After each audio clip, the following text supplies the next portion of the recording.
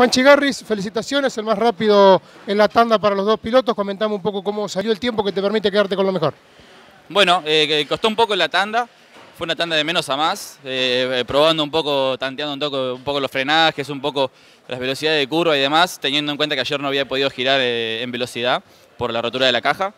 Así que nada, aprovechando que la tanda fue larga, me tomé el tiempo para, para ir descubriendo un poco los lugares de frenaje y demás, y, de a poquito fue saliendo. Este, sobre el final terminé redondeando todo bien prolijo, y creo que la clave estuvo ahí, en, redondear la vuelta prolija para cerrar los cuatro parciales bien.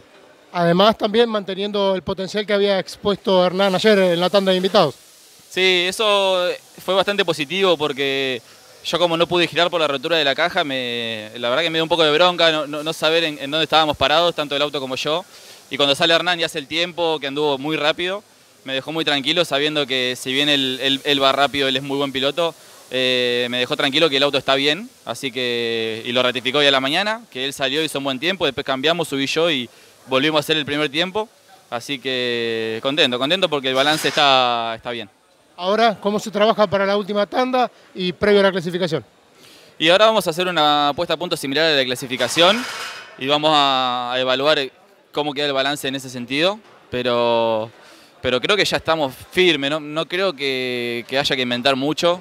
Este, cuando hace el primer tiempo, indudablemente es que el conjunto anda bien, así que no queremos inventar nada, queremos probar más que, nada la, puesta a punto de clasificación, ver cómo se comporta el auto y ya estamos listos. Juanchi, gracias por estar en Mundo Sport y que sea con éxito el resto de la jornada aquí en Buenos Aires. Dale, gracias a vos. Felicitaciones a Hernán también que anduvo muy rápido.